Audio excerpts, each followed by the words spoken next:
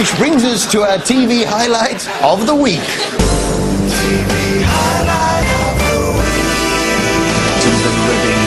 You collected them from Justin. About half an hour ago. Half the press. He's on a plane to Barcelona. Oh, Barcelona. What is love? Baby, don't hurt me. Don't hurt me